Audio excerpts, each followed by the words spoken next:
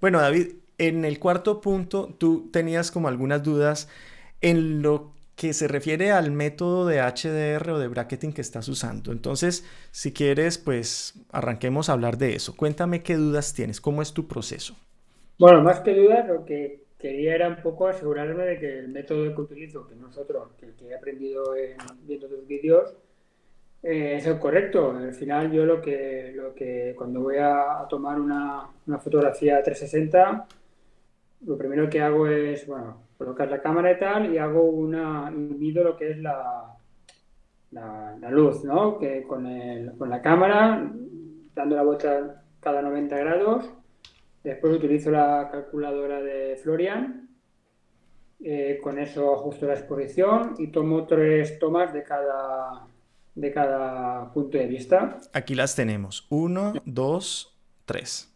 Una sobreexpuesta, una subexpuesta. Siempre intento, si me lo permite, que haya solo un paso de diferencia entre ellas, pero si hay mucho contraste, pues a veces pues mi cámara Nikon me permite llegar hasta dos pasos de diferencia.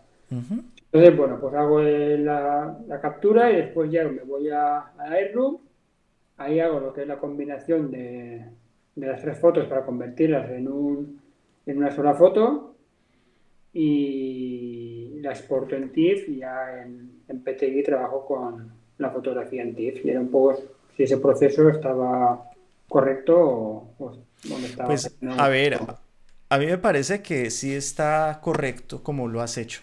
Se puede también montar las fotos, o sea, hacer este revelado que tú tienes aquí, uno, dos, tres, hacer un pre-revelado y exportar las fotografías en TIFF en JPG a PTGui y luego en PTGui coger todas las fotografías que componen la, la, eh, la serie ¿sí? Y en Guía hacer el ensamble del HDR.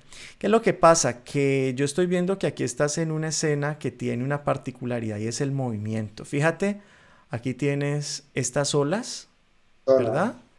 Luego tienes acá esto y tienes esto. O sea, es una escena que tiene movimiento. Entonces, cuando tienes, cuando tienes ese movimiento, PTGui no te va a funcionar tan bien, David. Entonces, Mm, está muy bien porque Lightroom sí tiene muy, mucho mejor manejo del HDR y de los fantasmas. Pues de hecho, mira, mira cómo te lo ha dejado. ¿Sí? Mm. Mientras que en PTI no hubiera quedado tan bien.